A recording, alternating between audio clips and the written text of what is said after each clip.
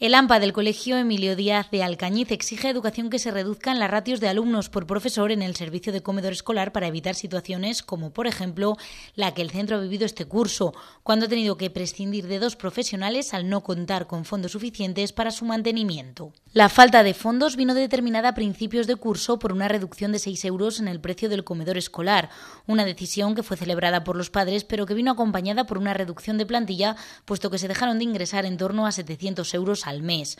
Por ese motivo, el centro decidió prescindir de una monitora y una profesora de inglés que se encargaban de dar servicio a los niños del comedor durante una hora al día, a las que se pagaba gracias al superávit alcanzado por los ingresos de comedor. Entonces no entendemos nada, no entendemos si la ratio es 25 o es de 25 a 40, que la cosa cambia mucho. Porque atender a 40 niños de monitor, o sea, de comedor es muy complicado.